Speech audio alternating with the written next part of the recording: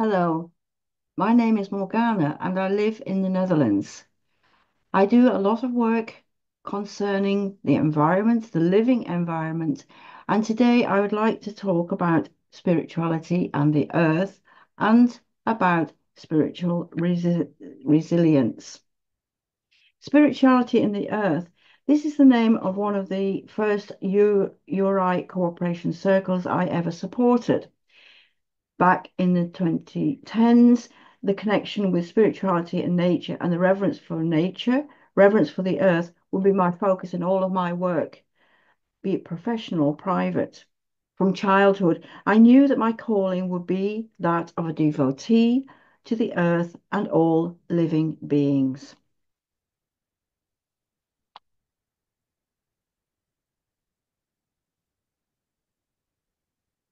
Guided by the legends, myths, folk tales, I traveled not only physically but also astrally. I learnt the way of the shaman and learned how to overcome the obstacles called life. It was sometimes lonely, but I had invisible friends, although they were not so invisible to me. Listening to the stories and parables from different spiritual traditions, I gradually built up my own foundation and inner sanctuary. What I didn't realize then, but do now, was that I was forming my own, what we call circle of trust and love. Today, in a world of many crises, when we are often overwhelmed, I have come to realize that now, even more than ever, how important spiritual resilience is. But what do we mean by spiritual resilience? It is about maintaining a sense of purpose and meaning even during tough times. It's like having an inner strength that helps you navigate through life's challenges. This often comes from a deep connection to our beliefs, our faith, our community, and above all, nature. It's this ability to draw upon these sources of strength and stay grounded no matter what life throws your way. That sounds pretty empowering, don't you think?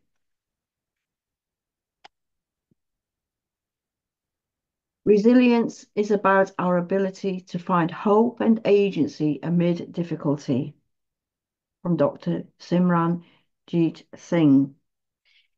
Ellen Grace O'Brien also writes when talking about cultivating spiritual resilience in challenging times, she writes, life expresses as a constant motion, light, shadow, pleasure, pain, joy, sorrow.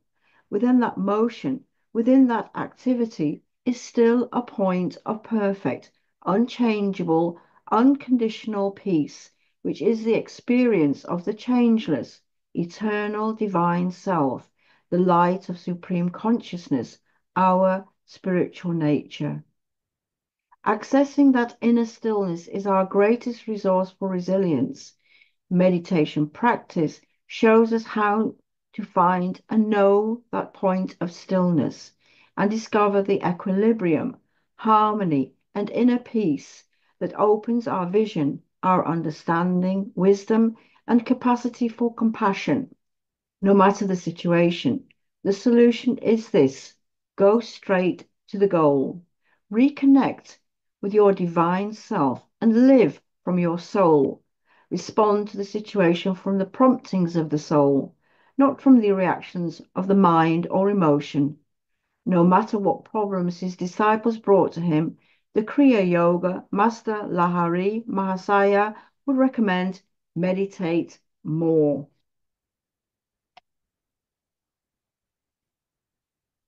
What does a daily practice look like? How do we build our circle of trust and love? For building spiritual resilience, it can be simple and tailor to what resonates most with you. These are some of the suggestions I would recommend for a daily routine.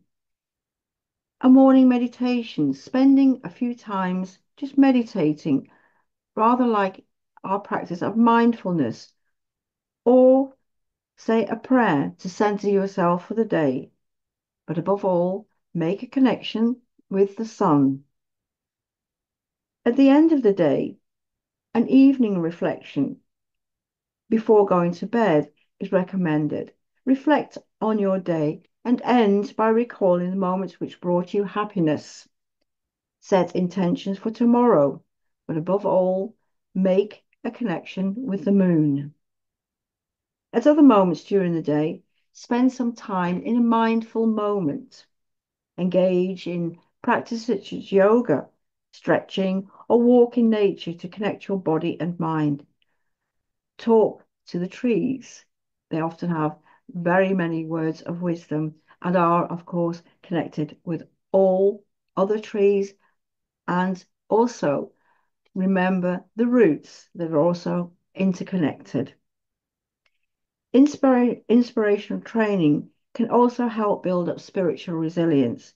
Read or listen to a few pages from a book or an article that uplifts and inspires you. Sometimes writing things down can help you to focus too. Try writing with a pen. There is something about verbalizing, seeing the words on paper, feeling your muscles as you write, which gives you an entirely different experience than just tapping at a keyboard. As an exercise, write down, for example, three things you're very grateful for. This tends to shift your focus to the positive aspects of life. One of the greatest things about building up your circle of trust is also to communicate and connect with your community. Communication and community. This is where we come in. Spend time with family, friends, or a community that shares your values. This may not also always be possible in real life, so visualize your circle of trust and see those people who you love and trust. It can be acquaintances as well. But just visualize those people who you feel comfortable talking with. Incorporate these elements in ways that feel natural to you. The key is consistency and finding moments of peace and connection every day. Think about it. What part of this would be most interested? Would you would you be most interested in trying?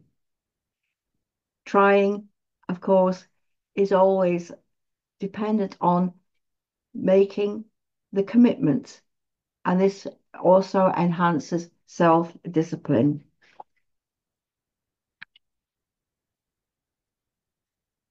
In any event, have a daily chat with the moon.